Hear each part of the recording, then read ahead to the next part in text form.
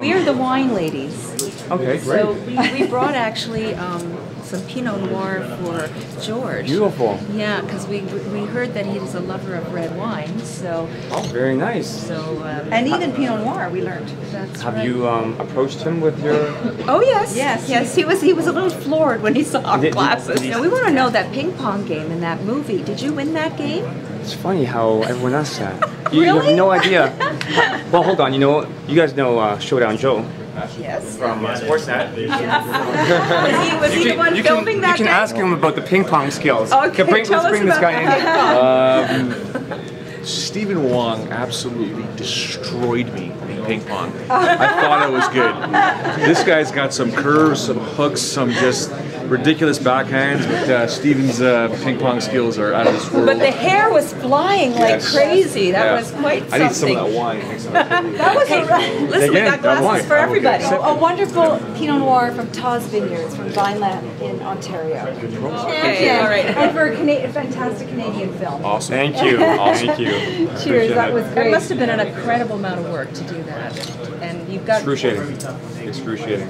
You know, if you look at the places that George trains in, um, you know, obviously Montreal, but then uh, New Mexico, Denver, New York, Brazil, uh, Abu Dhabi, Asia, and that can all happen in a month. you racked up your Wow. airline Oh, points big time. So that, that's one typical month.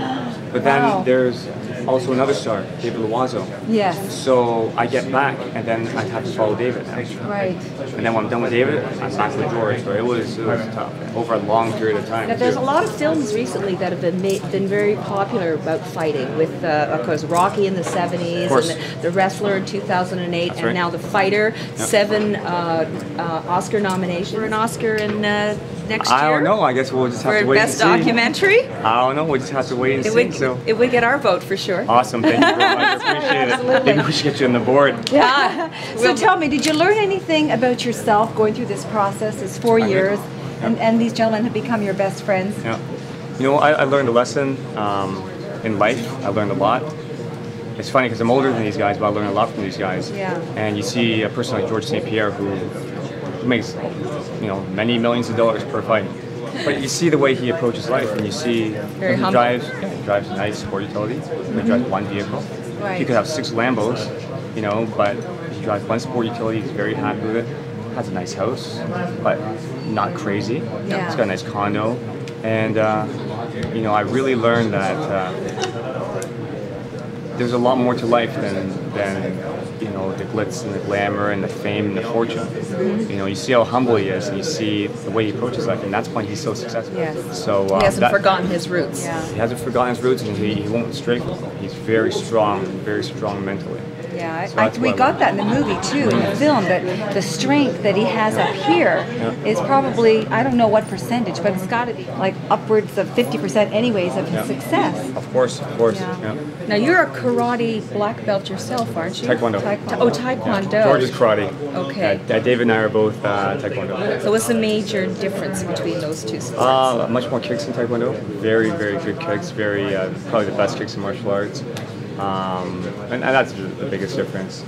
Is that why you took on the project? Because I know David Loiseau was saying he had approached a number of people Yeah. and he wasn't able to get on any takers, but you had a love for that type of sport already.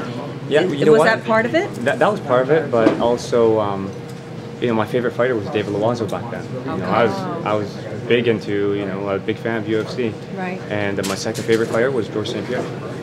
So, uh, you know, but it wasn't just that. It was more what they brought um, as far as human beings. And that's what really appealed to me. It's not their physical attributes. Um, it was more, you know, I, I felt if I could bring their personalities and their humbleness and, and everything that goes along with being George St. Pierre, David Loiseau, if we could bring that to the forefront, I'd have, you know, a winner. So that was my that was my goal. And how did David Loiseau find you? Um, it's funny, just you know, I, I'm fitness and martial arts is a part of my, my life, and we kind of ran into each other, uh, each other at a trade show for uh, a fitness show, fitness slash martial arts show. Well, congratulations on an awesome film. Thank you. Striking truth. Thank you very much.